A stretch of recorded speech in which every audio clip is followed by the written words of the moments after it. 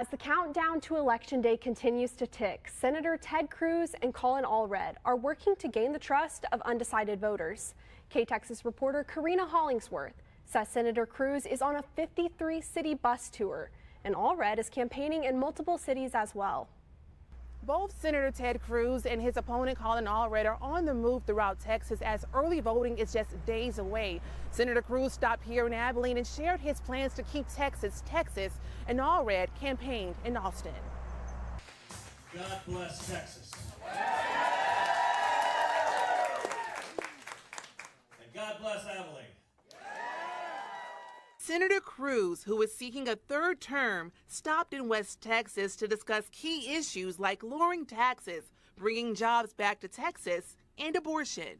I agree with the Supreme Court, and the Supreme Court said that abortion is an issue that, that Americans have real good faith disagreements. And, and when we have an issue where people have strong views on opposing sides, the way we resolve that under the Supreme Court is, is at the ballot box. Senator Cruz and his Democratic opponent Allred have opposing beliefs about women's rights. Allred spoke with our sister station in Austin about his views on abortion. Texans should know that te- this is Ted Cruz's abortion ban, uh, in which that has no exceptions for victims of rape or incest, where we've seen 26,000 women in Texas have been forced to give birth uh, to their rapist child under this ban. Uh, and it's not about freedom. Uh, to me, as a fourth generation Texan, uh, I know that we believe in freedom, and this is not it.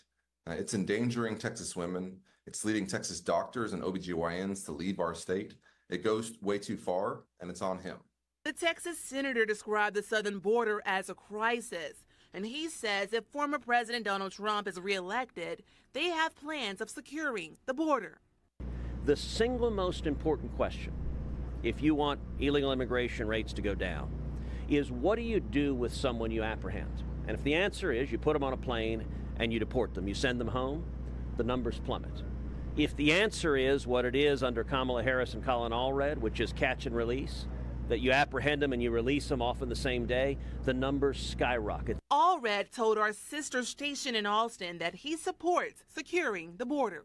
I want to make sure uh, that we have uh, a secure border, and Ted Cruz prevented us from passing a bill earlier this year to help secure the border. But I also want to fix our broken immigration system. Uh, and Ted Cruz has had forever uh, to try and address this, and he has he's had nothing to show for it. When I'm in the Senate, I'll actually make sure that we get this done and that we do it in a way that reflects our values as Texans.